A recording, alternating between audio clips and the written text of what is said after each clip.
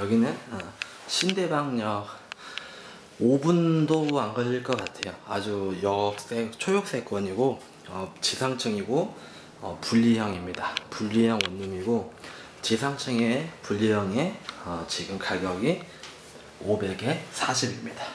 원래 요 건물이 500에 40, 3만 원인가 2만 원인가 그랬는데 지금 500에 40으로도 어, 해 주신다고 합니다.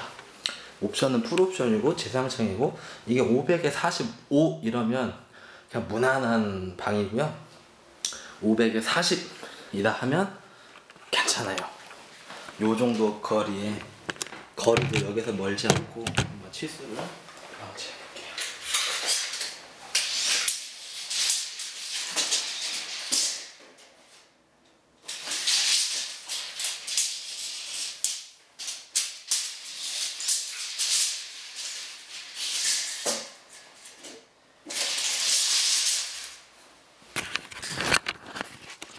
여기서 여기 화장실까지 화장실 요 벽까지가 2m 90 나옵니다.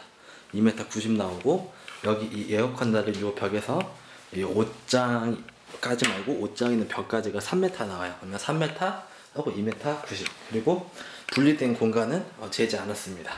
그렇기 때문에 어, 연식 괜찮고 어, 위치 좋고요. 가격 괜찮네요.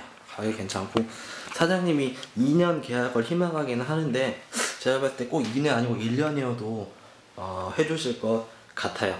뭐 정 뭐 하면 1년도 가능하다고 하십니다. 요거는 집이 정도면 괜찮습니다. 가성비.